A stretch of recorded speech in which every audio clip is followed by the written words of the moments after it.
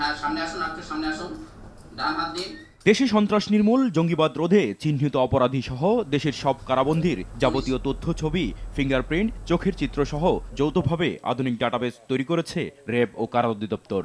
RAB সদর দপ্তরে এর উদ্বোধন করে স্বরাষ্ট্রমন্ত্রী জানালেন, এখন থেকে জেলখানায় কেউ প্রবেশ করলেই ছবি সহ যাবতীয় তথ্য ডাটাবেজে আপলোড থাকবে।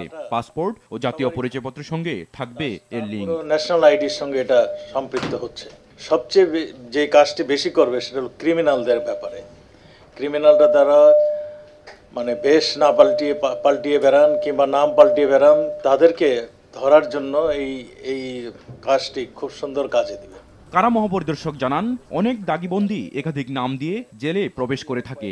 এখন থেকে তাদের ছবি সহ সার্চ দিলে অতীত ইতিহাস জানা যাবে। কতবার জেল খেটেছে তাও জানা যাবে। তারা যখন বাইর হবে তখন আবার ফিঙ্গারপ্রিন্ট দিয়ে বাইর হবে তখন অটোমেটিক্যালি লিস্টটা বাইরে হয়ে যাবে যে কারা কারা গেল। আবার ঢোকার সময় ফিঙ্গারপ্রিন্ট দিয়ে ঢুকলেই আমরা দেখব যে সেম লোকই ঢুকছে কিনা।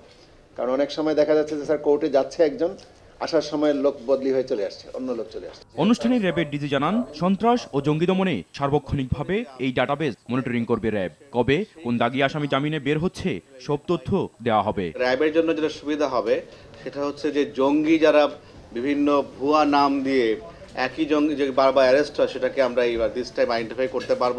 তিনি আরও জানান পাসপোর্ট অফিস জাতীয় পরিচয়পত্র office immigration NSI DGFI police সহ সরকারের সব গোয়েন্দা সংস্থা ব্যবহার করতে পারবে আধুনিক এই ডাটাবেস ক্রাইম করেছে সেগুলো স্যার ওখানে আছে স্যার। রকিব মানিক আরটিভি ঢাকা।